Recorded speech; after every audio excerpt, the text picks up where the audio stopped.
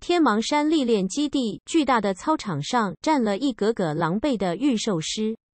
在最开始时，一共有一百人进入了天芒山，而最终站到这里的只剩下了七十三个。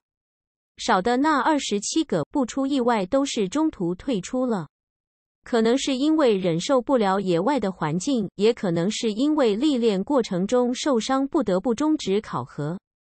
还能站在这里，说明你们还有一些资质。天芒山只不过是人造出来的历练环境，如果连这里都受不了，也别谈去探索遗迹，更别提日后参加职业考核了。还是乖乖回家养宠物去吧。历练负责人周万山站在主席台上，不客气的道。下方一格格见习御兽师默默不语。这里你老大，你说啥是啥吧。不过比起这些废话，这些考核者更想知道自己所获得的积分，在这次历练考核中可以排度几。虽然历练过程中能大致计算出自己的积分簇，但是根本不知道别人的，因此具体排名也就无从得知了。好了，接下来你们想知道自己的具体积分排名的话，可以自己去看，成绩已经贴到了那面墙上。其中排名前二十可获得探索遗迹的资格。一周后，一周后将带领你们初次进入遗迹，具体的情况留意协会通知。这次历练考核就此结束，兑换完积分，你们就可以离开了。简单的宣布下后，历练基地负责人周万山转头离开，只留下了喧闹的众人。毫无意外的，所有人都冲向了主席台旁边的墙壁处。相同的积分排名成绩单，历练基地打印了十份，分开贴在了墙上，完全能让每个人清楚看到。人群中，石宇跟着大部队凑了过去，直接从上往下看，这种感觉。怎么说呢？让他有一种梦回高中，每次月考完和同学围在一起看成绩的错觉。第一名石宇，二 W 积分。石宇是谁？不认识，不是我们学校，也不是我们学校的。现场的见习御兽师还是以学生居多，毕竟平均等级不高。宠兽平均等级在十级的那批年长的见习御兽师都分到了另外一个历练基地。针对这个第一名石宇，此刻现场的考核者议论纷纷起来，而石宇本人则是在看到自己的名字第一眼起就转身离开，深藏功与名。区区历练考核第一不过如此，还是赶紧去把积分兑换成真金白银回点血吧。话虽如此，可石宇走了后，他还是被背刺了。卧槽！石宇！人群中，优等生陈凯看着积分排名第一那个名字，有种特殊的情绪。虽然知道石宇很强，可看到是石宇拿了第一，他还是有种淡淡的忧伤。二 W 积分相当于五只觉醒十级的凶兽了。他又看了眼自己的排名，怎么感觉努力了一周，和时雨越差越远了呢？难道是自己不够努力？你认识这个人？陈凯惊呼后，他的同学纷纷询问：“这人是谁啊？”“呃，一个市内重点学校回来的御兽师，我就是听了他的建议才买来明神胶囊用于训练宠兽的。果然，他还是厉害的。”陈凯的同学一愣，怪不得陈凯的冰甲兽又突破了，实力进步神速，原来是得到了高手指点。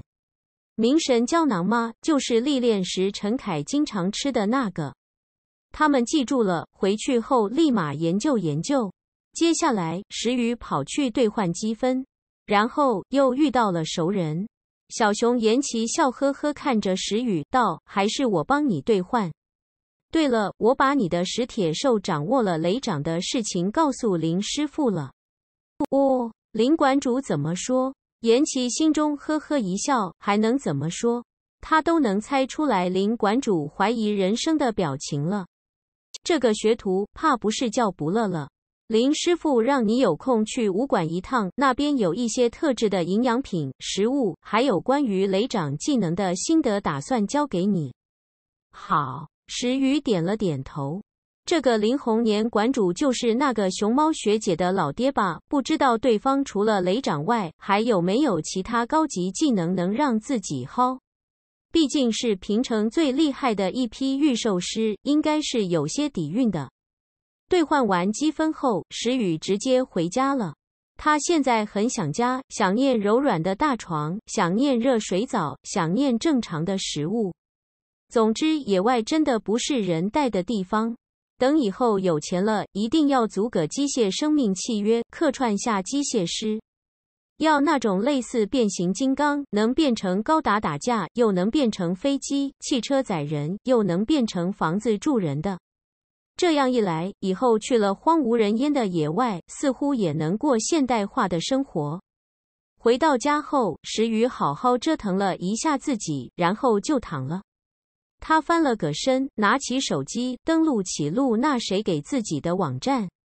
对方说自己要购买资源的话，从这个网站买就行了，好像还有折扣，并且送货上门，正好也省得他出门去买了。一周后就要带这次的考核通过者去移机的话，是不是时间有点紧？石鱼很想先稳健发育一波。可是他的作死之魂好像又蠢蠢欲动了，靠，控制不住自己哥儿，好想去看看。算了，听陆青一说这个遗机没什么危险，是个试炼型遗机，我只看看，不作死，问题不大。不过不管怎么样，接下来还是先挥霍一下资源吧。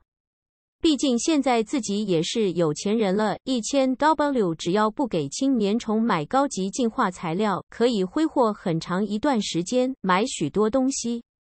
果然，为了全家人的幸福，青年虫这边还是自主摸索进化路线比较好。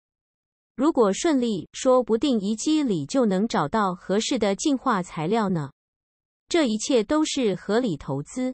石宇搜索的不是给宠兽的资源，而是给御兽师的资源，那种可以让御兽师大战十天十夜也不虚的补品资源。在见习御兽师阶段还好，一些强化型天赋的御兽师还无法把天赋运用到实战中，只能用于训练。但是脱离了见习级后，那些掌握强化战斗型天赋的御兽师的优势就显现出来了。一个特殊型心灵感应天赋御兽师，一个强化型天赋御兽师。随着双方等级提升，后者在实战方面只会跟前者拉开越来越大的差距。不过，相对的一场战斗下来，拥有战斗强化型御兽天赋的御兽师消耗也肯定更大。这些补品就是给他们准备的。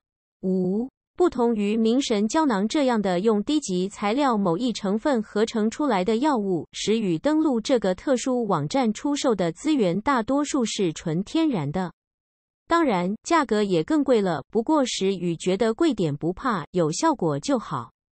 植物类超凡生物三宝宝的须，百花女王蜂的蜂乳，亚龙族吞天龙蛙的蛙油。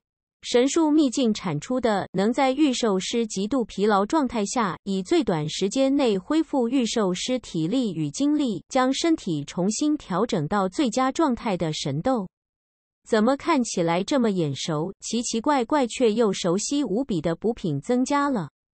这个神豆不错，但最低品质也要十 W 一粒，有点贵。